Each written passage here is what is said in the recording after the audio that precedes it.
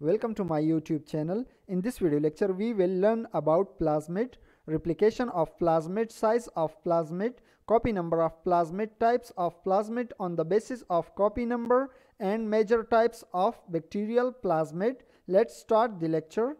So what are plasmid? Plasmid is in extra chromosomal double-stranded DNA molecules which replicates independently. So in many bacteria, plasmid are present in nucleoid region and they are usually more than one in number either circular or linear form. For example, Bacillus burgdorferi bacteria carry 12 linear and 9 circular plasmid but most known plasmid are circular plasmid. They have less genes than 30 and have no direct role in survival. Also, plasmid carry many genes that give resistance to a bacterium in certain environment or harsh condition. Also, a plasmid have many functions. For example, antibiotic resistance, nodule formation, and nitrogen fixation. The term plasmid was first introduced by American molecular biologist J. Lederberg in 1952. Now replication of plasmid and their size. The plasmid used host cell machinery for replication. They are usually small in size and large in size. Small size plasmid used host cell machinery for replication while large size plasmid use its own enzyme for replication and sometimes plasmid can integrate it into chromosomes which are called episomes. The plasmid transferred or inherited during cell division but sometimes they are not equally transferred to daughter cells or lost so the loss of plasmid are called curing the plasmid size ranges from 1 kb to 200 kb where small plasmid are considered is desired plasmid in genetic engineering. Next we have copy number of plasmid. Plasmid number varies from 1 to 50 copies per cells. Amplification of plasmid is a copy number of plasmid could be increased when the bacteria are in its exponential phase. The chloramphenicol antibiotic stop chromosomal DNA from replication. When add chloramphenicol and incubate for 12 hours, the plasmid will replicate and 1000 copies of plasmid could be achieved. Then we have types of plasmid based on copy number they are relaxed plasmid, stringent plasmid, conjugative plasmid and non-conjugative plasmid. Let's discuss each type in detail. Number 1 relaxed plasmid. It replicates only within a cell independently of the chromosomal DNA replication. Thus they have high copy number, stringent copy. Then we have stringent plasmid it replicates only along with the main bacterial chromosomes and have low copy number. Next is conjugative plasmid. It contains tra genes which perform the complex process of conjugation. Also conjugative plasmid can be transferred from one bacteria to another bacteria. The example of conjugative plasmid R F plasmid, many are plasmid and sometime col plasmid. Then we have non-conjugative plasmid.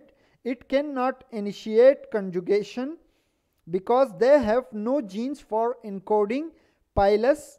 So this plasmid cannot transfer from one bacteria to another bacteria. Then we have major types of bacterial plasmid. Number 1 fertility plasmid or conjugative plasmid, it can be defined as a plasmid which can be transferred from one bacteria to another bacteria called fertility plasmid or conjugative plasmid. The fertility factor or fertility plasmid discovered in E. coli and are also called conjugative plasmid. This plasmid help in the formation of sex pili and plasmid is transferred from one bacteria to another through conjugation where conjugation is a special type of sexual reproduction in bacteria. The size of fertility plasmid are about 95 to 100 kilobase pair long. The fertility plasmid also have genes for cell attachment. It contain insertion sequence which help in plasmid insertion into host chromosomes or episomes. Next we have resistant plasmid which confer or give resistance to bacteria against certain antibiotics called resistant plasmid. They carry antibiotic resistant genes against certain antibiotics like ampicillin, kanamycin, gentamicin, etc. Resistant plasmid also conjugative in nature. If in resistant plasmid are transferred to pathogenic microorganism, then it will become more pathogenic or multi-drug resistant pathogen. For example, Salmonella, Shigella bacteria or Pseudomonas. Their size is about 54 kilobase pair long. Next we have col plasmid. Col plasmid is an important plasmid in bacterial world. It found in bacteria and contain genes for many processes. This plasmid belongs to family of bacteriocins because, because it contains genes for bacteriocin protein which is produced by bacteria to destroy other bacterial cell wall, cell membrane and DNA etc.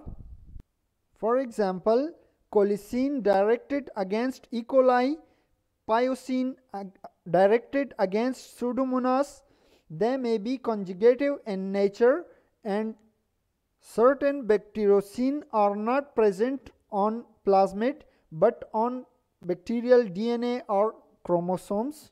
Next we have virulence plasmid that carry virulence genes which size is about 200 kilobase pair long and make bacteria more virulent in nature by becoming resistant to host defense mechanism or by producing toxin.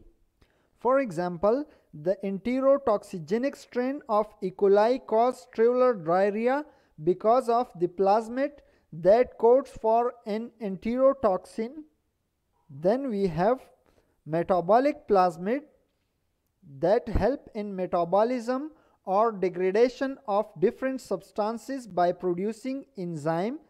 The substances like camphor, toluene, sugar can be degraded by bacteria through enzymes. Also metabolic plasmid play a vital role in nodule formation, nitrogen fixation through rhizobium bacteria. Camphor degradation or camphor is metabolized by some soil bacteria depending on its species. Thanks for watching.